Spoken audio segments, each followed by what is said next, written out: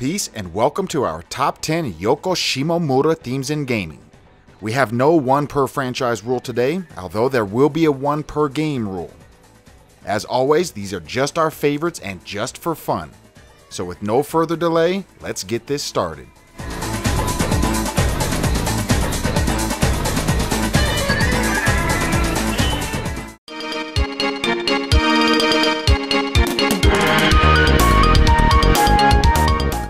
10. Our first up today comes from Live A Live War in China.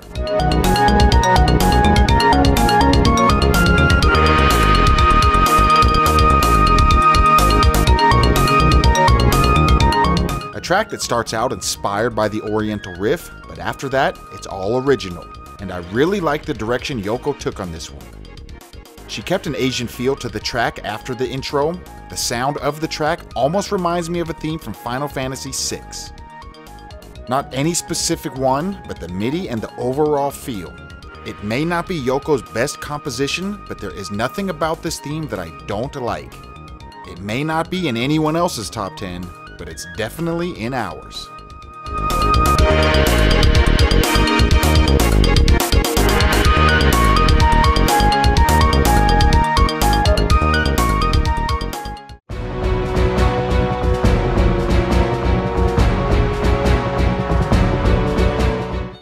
9.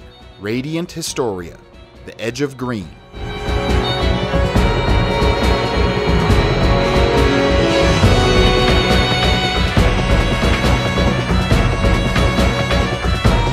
Classical sounding beat with suspense and determination. It's a great theme for when you are short on time and you need to get something done. All sorts of instruments blend together to create this masterpiece. The piano around the middle of the track is what really put this on our list. On top of that, the structure and the melody are put together masterfully. An underrated theme from a legendary composer.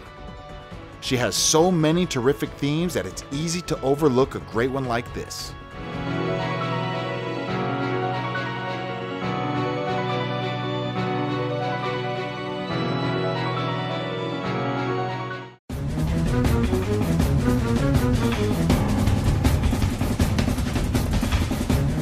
Number 8. Kingdom Hearts 2 The Encounter.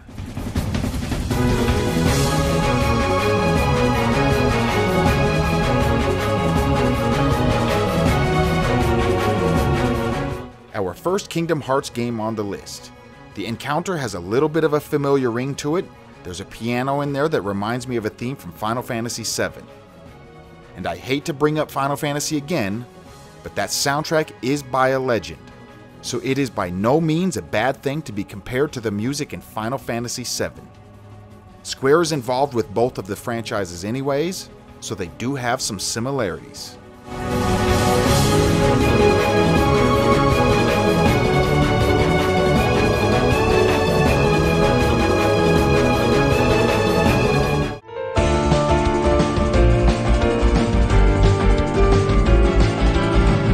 Number 7. Million Arthur Arcana Blood, Iai Arthur theme.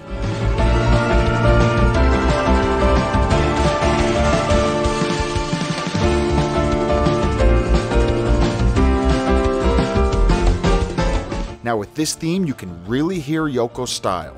It's lively, it's fun, and it's easy to enjoy. Some songs may take a few listens to really get into it, but that's not usually the case with Yoko.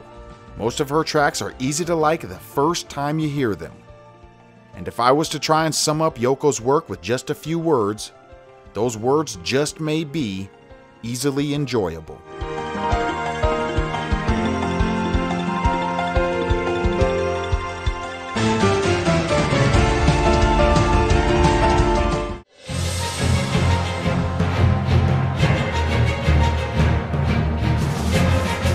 Number 6. Final Fantasy 15. Up for the challenge.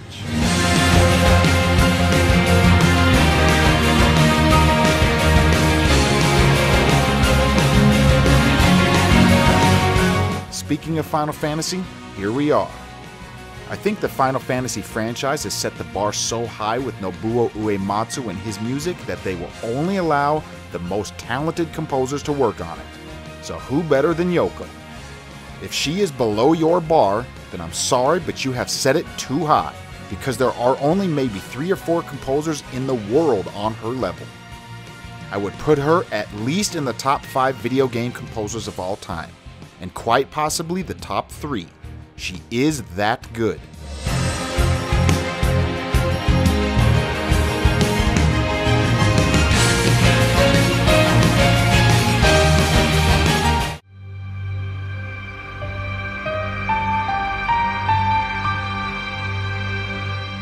Number 5. Legend of Mana, the title screen.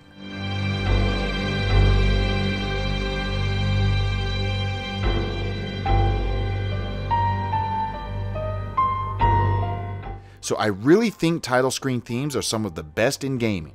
You have to get the attention of your audience.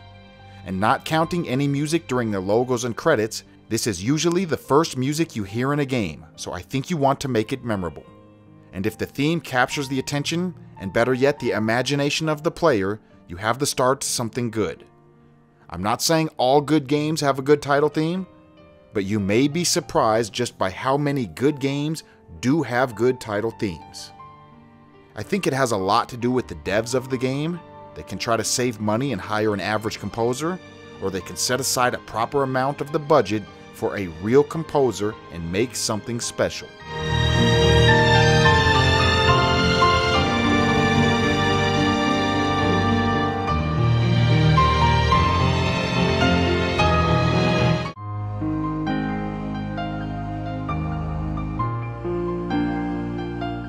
Number 4.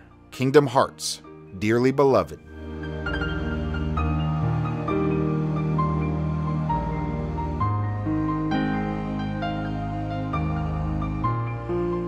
A slow theme with an emotional piano. It's a simple beat, there isn't a lot of instruments, but it's effective. Sometimes it's a good thing to just let the melody flow and let the listener sit back and relax. Drums would be too harsh on this track, in my opinion. I'm really glad Yoko just let it be as is.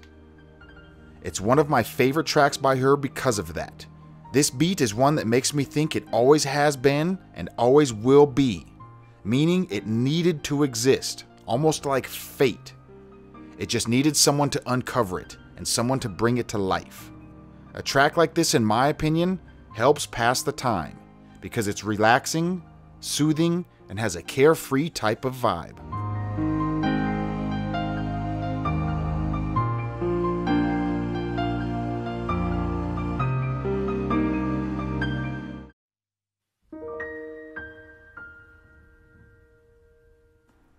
Number 3. Xenoblade Chronicles, the title screen.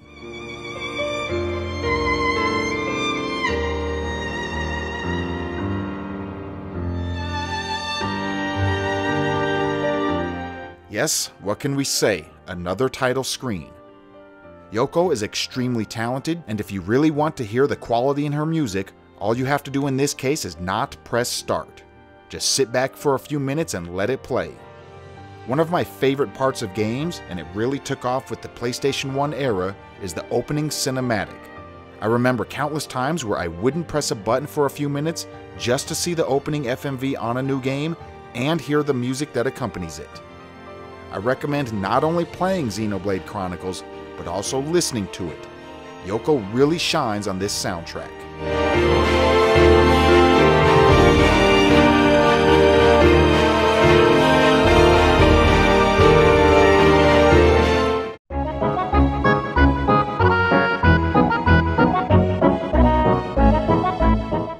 2. Super Mario RPG Beware the Forest Mushrooms.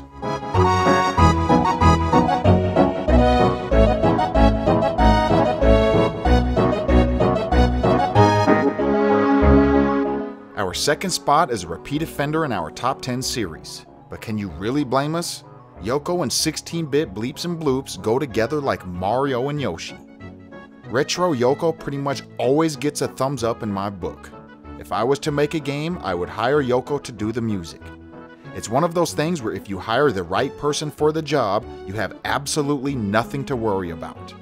I would be 100% confident that my game would have some of the best music on the market. She was a perfect fit for the Mario RPG, but can you really think of a game that she couldn't compose for?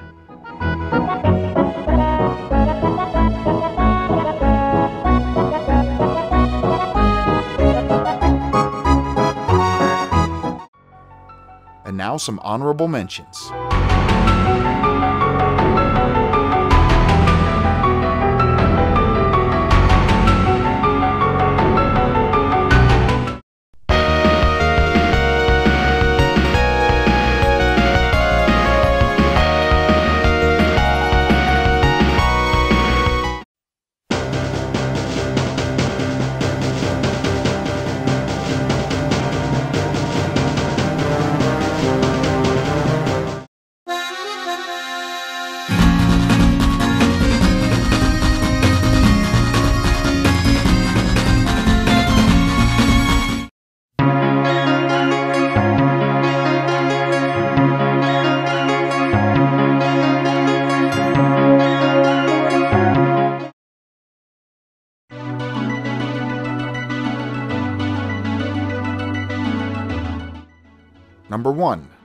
Street Fighter II Guile's Theme.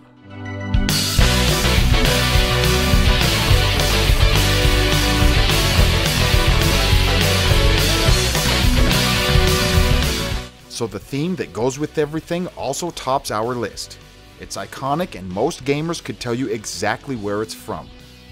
There is a reason why two of the top three Guile themes on YouTube have a combined 21 million views.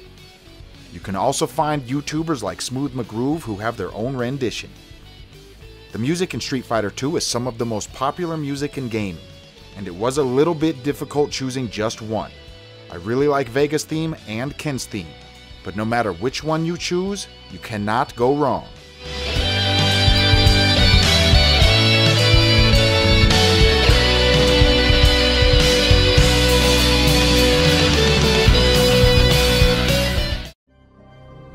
So there you have it 10 of our favorite themes by Yoko herself. An all time great composer with a very impressive resume. If we failed to mention your favorite, please comment with it so we can take a listen. Our next top 10 will be Heroes themes. No villains and no fighting games. Those two will have their own top 10. So for now, shout out to gold level patron Bearsona11. I am ICC Thanks for watching. Peace.